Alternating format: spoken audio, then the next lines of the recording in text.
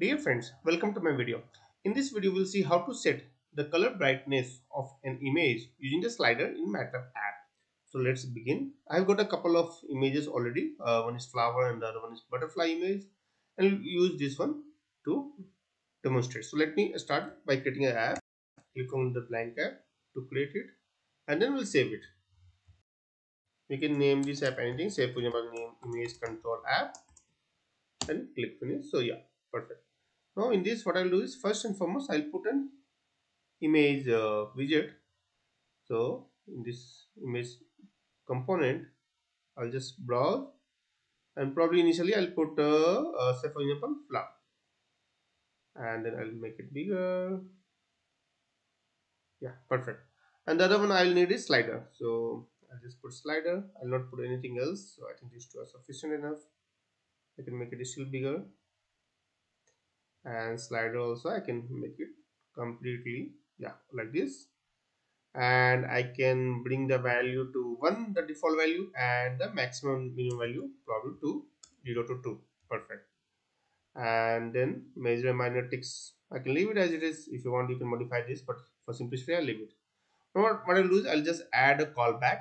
So value changing function. You can e either use change or changing. I'll prefer changing so that we can see while we are scrolling uh, on the slider it will change the value.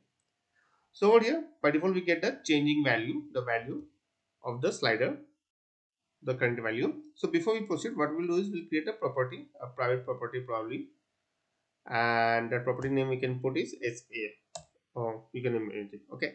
And uh, in this function in this method slider value changing method first and foremost we'll update the value of a but before that we'll check whether a is empty or not. So probably i'll do one thing.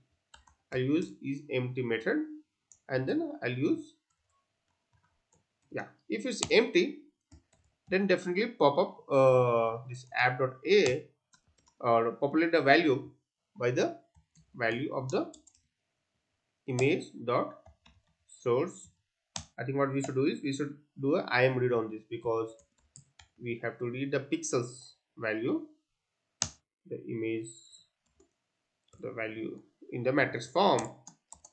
Yeah. And then end. So this will get uh, executed only for the first time when the uh, this value is empty. Once it's uh, populated then it will not rerun. Perfect. Now what i will do is i will update the value of the image widget source image source. So i'll change the image source. And image source will be nothing but app.a whatever we have read just now. And but okay wait i'll do one thing.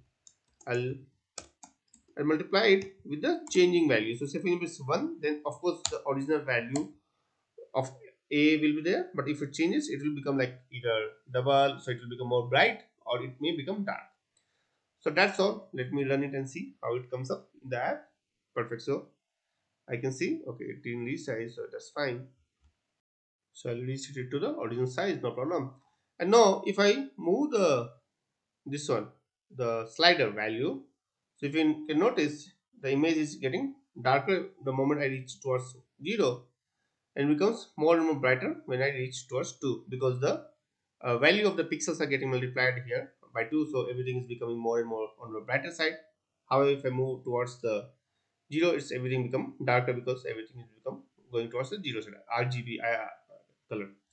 I'll do one thing I'll just quickly check with the other uh, image as well just for uh, demonstration purpose. So this time I'm choosing a butterfly and if I go on the right hand side it's becoming more and more bright. If I come on the left hand side it's becoming dark so that's all I wanted to show you how easy it is uh, to manipulate any image uh, in the app designer. It's just one simple demonstration where you can uh, change the color color contrast of the image by moving it around. So that's all. I hope this video is useful to you. If you have any questions or suggestions then please put in the comments below. And if you like this video then please subscribe to our channel. Thank you and have a nice day. Bye